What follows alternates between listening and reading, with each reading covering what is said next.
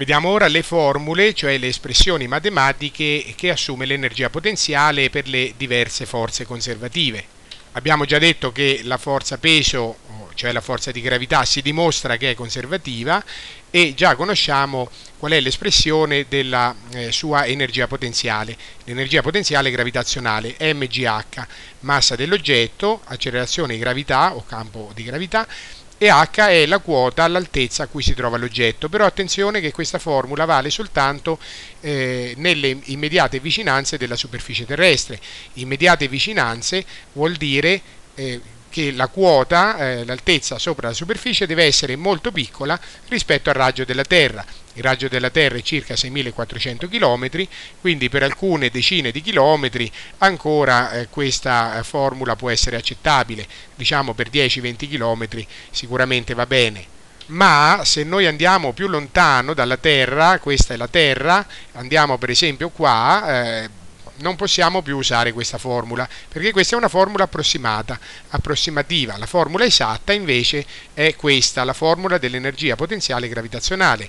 Meno g, g è la costante di gravitazione universale, m grande è la massa della Terra, m piccolo è la massa dell'oggetto, per esempio un sasso, e r è la distanza tra il centro della Terra e la massa eh, m piccola. Attenzione a non sbagliare, come spesso fanno gli studenti, che r non è la distanza dalla superficie, eh, invece h era la distanza dalla superficie. h in questa formula approssimativa è la quota sopra la superficie, qui invece no, r è la distanza dal centro della Terra fino alla massa m piccola. Infatti la Terra, eh, si può dimostrare, si chiama teorema di Newton, che si comporta come se fosse un punto, quindi tutta la massa concentrata nel centro nel senso che eh, la, il campo gravitazionale che la Terra genera fuori di, di, di, lei è lo stesso che si avrebbe se eh, la Terra fosse con tutta la massa concentrata al centro.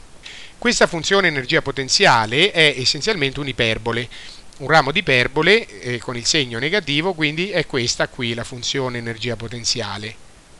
Se noi andiamo a considerare quel tratto di iperbole che si trova appena eh, oltre il, il, raggio terrestre, quindi nelle immediate vicinanze della superficie terrestre, quindi in questo breve, breve tratto qui, in questo breve tratto, quindi appena sopra eh, la superficie terrestre, allora possiamo approssimare questo tratto di iperbole come se fosse una, eh, un segmento rettilineo eh, e questo è MGH.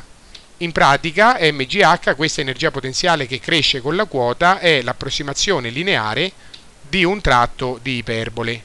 Questa è la superficie terrestre, qui ci stiamo oh, sollevando di un tratto H e, e sollevandosi di, verso destra di un tratto H cresce l'energia potenziale in modo lineare, in realtà non è lineare, è l'approssimazione lineare di questo eh, tratto curvo di iperbole. In elettrostatica noi non utilizzeremo mai questa approssimazione qui perché noi eh, non lavoreremo praticamente mai soltanto nelle immediate vicinanze di una carica elettrica. Adesso immaginiamo che questa non sia più la Terra ma sia per esempio una sfera metallica carica di elettricità. Noi non lavoreremo soltanto qui, lavoreremo anche a grandi distanze, quindi dovremo usare una formula analoga a questa. Ricordiamo infatti l'analogia tra la gravitazione e l'elettrostatica, la forza di gravità, la legge di, New, di, di, Newton della gravitazione universale è praticamente uguale alla legge di Coulomb dell'elettrostatica, G, la costante di gravità universale, viene sostituita dalla costante dell'elettrostatica K0, le masse vengono rimpiazzate dalle cariche e poi R al quadrato rimane la distanza al quadrato dal centro. Allora, in virtù di questa analogia, anche la forza elettrostatica innanzitutto è conservativa come la forza di gravità e l'espressione dell'energia potenziale elettrostatica è eh, identica a quella dell'energia eh, potenziale gravitazionale. Quindi G diventa K0, le masse diventano le cariche e R è la distanza dal centro. Il segno meno non c'è perché è già nascosto dentro eh, le cariche stesse, infatti a differenza delle masse che possono essere solo positive, le cariche possono essere anche negative. Siccome le masse sono solo positive, eh, per avere una forza attrattiva in pratica bisogna mettere il segno meno esplicito davanti. Invece Nel caso delle cariche eh, l'attrazione si ha quando le due cariche hanno segni discordi, quindi una è positiva e una è negativa, ma allora il segno meno ci viene naturale, perché una è positiva e una è negativa, quindi il segno meno è già nascosto dentro una di queste due. Se invece le due cariche sono concordi, quindi tutte e due positive o tutte e due negative, il segno meno giustamente non c'è, neanche nascosto qua dentro, e infatti la forza in questo caso è repulsiva. Quindi l'energia potenziale elettrostatica sarà un ramo di iperbole ma nella parte superiore. Che la forza elettrostatica sia conservativa si può dimostrare in modo rigoroso e dalla dimostrazione viene anche fuori la formula dell'energia potenziale elettrostatica che abbiamo appena visto, K0, le due cariche diviso la distanza tra di loro. La dimostrazione non la vediamo nel dettaglio, ma essenzialmente consiste nel calcolo del lavoro che fa la forza elettrica quando una carica, questa carica Q minuscola, eh, si sposta da un punto A a un punto B eh, all'interno del campo elettrico, quindi sotto l'azione della forza elettrica generata eh, dalla carica Q grande. Infatti mentre questa carica Q piccola si sposta lungo questo tragitto AB, eh, subisce continuamente questa forza elettrica che è rappresentata da questa freccia di colore rosso. Facendo il calcolo del lavoro che questa forza elettrica esercita eh, sulla carica Q piccola mentre la carica si sposta da A a B, viene fuori matematicamente che il percorso non conta, cioè non è importante, cioè nella formula finale, che è questa, viene fuori che non c'è nessuna eh, traccia, memoria diciamo del percorso, il percorso non conta niente. Eh, contano invece queste espressioni che è proprio l'energia potenziale in A meno l'energia potenziale in B, quindi viene proprio dal calcolo del lavoro la differenza tra l'energia potenziale in A, UA, meno l'energia potenziale in B, UB e quindi viene anche eh, in modo naturale eh, dalla dimostrazione l'espressione dell'energia potenziale elettrostatica che, che, è proprio questa KQQ fratto R. Il fatto che nell'espressione finale del calcolo del lavoro non sia venuto fuori eh, nessuna indicazione legata al percorso vuol dire che qualunque percorso scegliamo il lavoro ha sempre lo stesso valore a parità naturalmente dei punti A e B, cioè senza cambiare i punti A e B. Se scegliessimo un altro percorso, il lavoro della forza elettrica sarebbe lo stesso, come indicato in queste figure. Qui per andare da A a B abbiamo fatto fare alla carica Q minuscolo eh, il percorso 1 ABC oppure il percorso 2 ADC e in entrambi i casi il lavoro che fa la forza elettrica su questa carica che si muove è sempre lo stesso, per esempio 10 joule. Questa è proprio la prima definizione di forza conservativa. Il lavoro non dipende dal percorso, il lavoro lungo il percorso 1 ABC è uguale al lavoro lungo il percorso 2 ADC. Ma eh, si vede che vale anche l'altra definizione che è, che è equivalente alla prima, L'altra definizione di forza conservativa, cioè il lavoro ciclico è zero. Infatti se immaginiamo di rovesciare il percorso 2 e quindi eh, di percorrerlo non da A a C ma da C verso A, abbiamo un percorso eh, totale che è un percorso chiuso, un percorso ciclico, dove la forza elettrica eh, che agisce su questa carica fa 10 joule di lavoro motore all'andata e meno 10 joule di lavoro resistente al ritorno. Se li sommiamo fa 0. Eccolo qua il lavoro ciclico uguale a 0. Questo è spiegato e dimostrato più in dettaglio in questa figura dove si vede la carica diciamo sorgente, la carica Q grande e la carica Q piccolo che fa questo percorso ABC e poi ritorna indietro CDA lungo il percorso 2 e qui è disegnata con la freccia rossa eh, la forza elettrostatica sulla carica in alcune posizioni, quindi quando sta qui, quando sta qui e qui.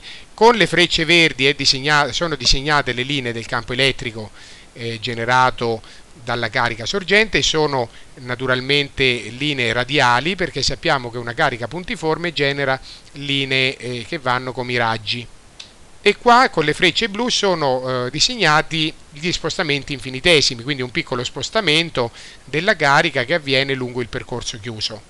Comunque alla fine il concetto fondamentale è che durante il viaggio d'andata eh, questa forza si vede che spinge la carica verso l'esterno perché è una forza repulsiva, cariche positive si respingono, quindi la forza fa un lavoro motore all'inizio perché respinge la carica viola Q piccolo la carica viola si allontana e la forza la respinge. Invece al ritorno la forza eh, fa un lavoro resistente perché la carica, eh, la carica viola si avvicina ma la forza eh, di nuovo è repulsiva. Quindi in questo caso si tratta di un lavoro resistente cui forza, con cui la forza cerca di ostacolare il ritorno, eh, l'avvicinamento, il ritorno della carica viola. Naturalmente non è spontaneo questo percorso che eh, descrive la carica Q minuscola, ma è un percorso forzato anche da altre forze esterne, quindi non c'è soltanto la forza eh, elettrostatica, altrimenti non farebbe questo percorso spontaneamente la carica viola. Evidentemente ci sono anche altre forze, per esempio noi che banalmente abbiamo eh, un meccanismo con cui prendiamo la carica e la spostiamo a nostro piacimento lungo questo percorso chiuso esercitando quindi una nostra forza esterna.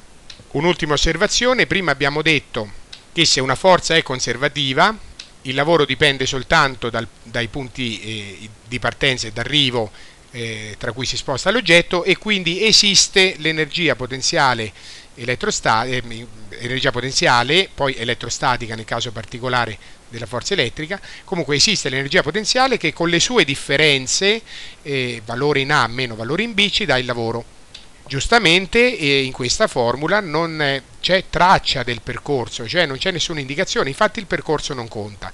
Invece per le forze non conservative, come queste, eh, il percorso è importante perché il lavoro dipende, il lavoro di queste forze qua dipende sì dal punto iniziale e dal punto finale, ma dipende anche dal percorso scelto. Quindi una formula così non può funzionare per le forze non conservative, perché non c'è eh, l'indicazione del percorso e il percorso è importante per le forze non conservative. Quindi una formula così sicuramente non può andare bene perché non tiene conto del percorso, non specifica il percorso.